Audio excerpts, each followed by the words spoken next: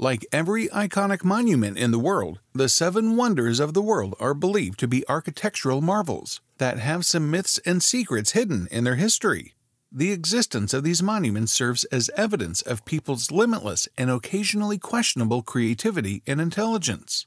Each civilization wanted to leave its mark on the world and serve as a reminder that it had existed across multiple generations and geographical locations. In contrast to our modern day equipment and technologies, building such massive structures during that period created some fascinating stories for us, which we will discuss in today's video. To start off, did you know that the seven wonders we recognize today weren't always the same? The pyramids of Giza in Egypt were the only ones of the original seven wonders remaining surviving in 2000. This prompted a Swiss charity to start a campaign to determine the new seven wonders of the world. The initial list of the seven wonders was compiled in the 2nd century BCE. Over 100 million people participated in the Foundation's seven year poll, which was conducted online or by text message. The Great Pyramid of Giza, the Hanging Gardens of Babylon, the statue of Zeus, the Temple of Artemis, the Mausoleum of Halicarnassus, the Colossus of Rhodes, and the Pharos, or Lighthouse of Alexandria, were the original seven wonders of the world. At the same time, the Great Wall of China, Chichen Itza, the ancient city of Petra, Machu Picchu, Christ the Redeemer, Colosseum, and Taj Mahal are today's seven wonders in their place. With this, let's now directly get to the most awaited part the myths behind these monuments. Starting with the Great Wall of China, which is more than 21,000 kilometers long, many peasants, prisoners, and army soldiers are said to have been forced into building this wall. It took about 20 years to complete the initial wall during the reign of Emperor Qin Shi Huang of the Wen Dynasty.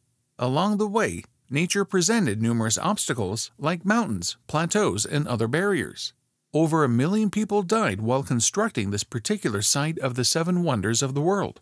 Archaeologists have discovered human remains beneath portions of the wall. So, overcoming these difficulties and maintaining such a massive wall also came with losses.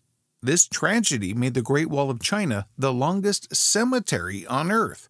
Just one question why do we visit this place again?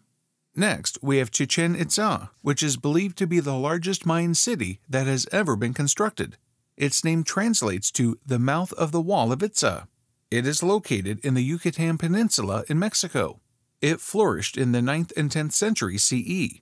The fact that this location echoes strange noises may have contributed to tourists and archaeologists choosing it as one of the seven wonders of the world.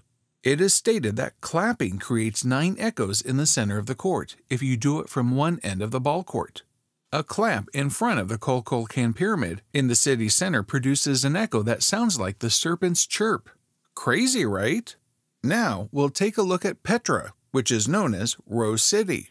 It is one of the Middle East's fascinating architectural marvels and proof that this region was truly rising during the Middle Ages. The historic Jordanian city of Petra is tucked away in a lonely valley between cliffs and mountains, made of pink sandstone. It was said to be one of the locations where Moses supposedly struck a rock and water sprang out of it. It later became the capital of the Nabateans, an Arab tribe, and during this period it flourished and developed into a significant trading hub, particularly for spices.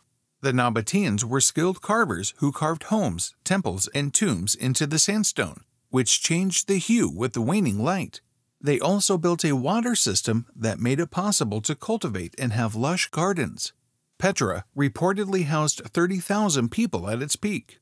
However, when trade routes changed, the city started to deteriorate. More difficulties were brought on by a significant earthquake in 363 CE, and Petra was progressively abandoned until another earthquake struck in 551. Even though it was rediscovered in 1912, until the last decades of the 20th century, archaeologists mostly neglected the city, leaving many unanswered problems. Furthermore, some of the carvings on the treasury's walls were ruined by Bedouins from the Arabian desert centuries earlier, and the even more horrible fact is that they used them as targets for shooting drills. Well, this one definitely hit the spot for us.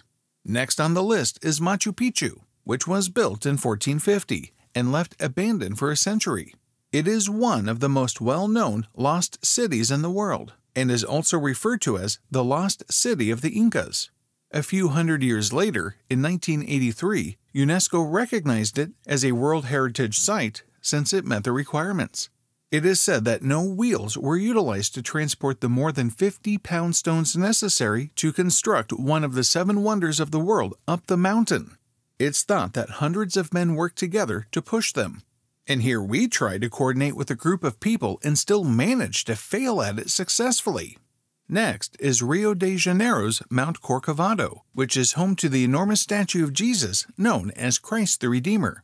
Its beginning can be traced back to the immediate aftermath of World War I, when some Brazilians feared a tide of godlessness. They suggested a statue, which Heitor de Silva Costa, Carlos Oswald, and Paul Landowski ultimately designed. The building process started in 1926 and was finished in 1927. Without its base, which is around 26 feet high, the monument's height is 98 feet, and its outstretched arms are 92 feet long. The statue was initially constructed in France before being transported to Brazil. It is the world's largest Art Deco sculpture. About 6 million tiles cover the reinforced concrete structure of Christ the Redeemer. Weirdly, lightning has frequently struck the statue, and in 2014, a storm injured the tip of Jesus' right thumb. Was that a sign for something? Let's now shift our focus to the Colosseum, whose architectural magnificence can never be disputed by anyone. Yet, some ugliness is hidden beneath this beauty.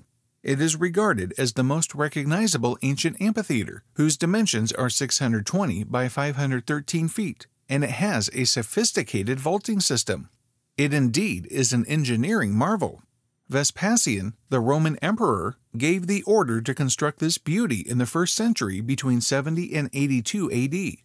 It has more than 50,000 seats. For its use, the gladiator fights were perhaps the most famous. However, men fighting animals was also widespread. The Colosseum occasionally had water pumped into it for fictitious naval battles. There is also a myth claiming that there were martyred Christians who were thrown to lions. An estimated 500,000 people died in the Colosseum, according to some estimations. Furthermore, so many animals were slaughtered there after being captured that certain species allegedly went extinct. Scary, right? Lastly, did you know that the Taj Mahal was constructed by Shah Jahan in memory of his late wife Mumtaz, also known as Chosen One of the Palace? who passed away in 1631 while giving birth to their 14th child. It's obvious to feel that the moment is a true and magnificent expression of love. However, one of the well known myths surrounding the stunning architectural structure that was unquestionably selected as one of the seven wonders of the world is that the Romantic emperor amputated the hands of every worker who helped construct the Taj Mahal to prevent them from ever again creating anything this beautiful. Another myth suggests that Shah Jahan also desired to build a black Taj in the Yamuna basin. He wanted this structure to resemble the Taj Mahal in every way, except for the fact that it would be made of charcoal black marble as opposed to white. Unfortunately, his son Aurangzeb killed him before his intentions could materialize. This shows that everything that happens is for the best, because the Taj Mahal would obviously not have been one of the seven wonders of the world if there were two Taj Mahals. With this, it's time for you to tell us which story stunned you the most, given the gruesome and scary myths associated with these monuments.